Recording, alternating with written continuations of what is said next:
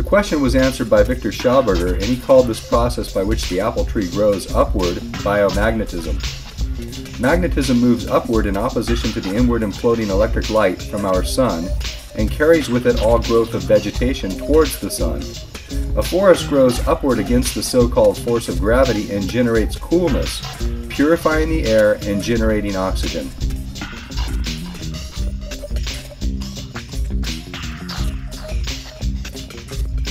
Mankind's machines move upward with loud explosion based technologies that heat, pollute, and destroy to do the same kind of work which nature does with silence, coolness, and purifying regeneration. Schauberger designed implosion turbines which copied the motions of nature and produced unlimited, clean, free energy for the benefit of all mankind. Walter Russell was in agreement with Schauberger's understanding relating to the ubiquitous vortices found throughout nature. Russell also invented free energy technology, which was given to NORAD for the defense of this country, and was later classified and hidden from public knowledge under the guise of national security.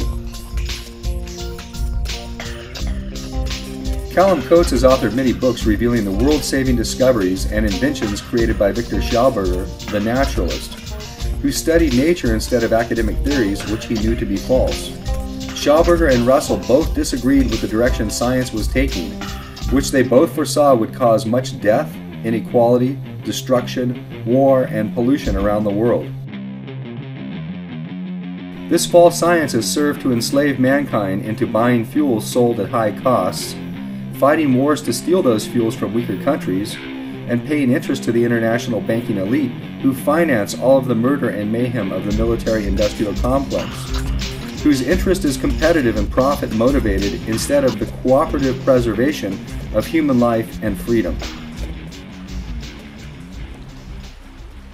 Nature's clean engine processes are non polluting. If man's science was correctly based on the wholeness principle of the two way motion of nature's ways and processes, then our inventions would not pollute either. Man has exploited the effects of explosion and has disregarded the cause of implosion, for which he could begin to clean up his environment and replace the combustion exploding fuels currently being used. This conversion to clean energy would create new industries and give all men power. The issues of war and greed would dissolve with the release of these new technologies. This reasoning through clarity, when understood fully, will help serve to rewrite and re theorize many of the grave misconceptions around scientific understanding that keeps reinventing pollution making machines.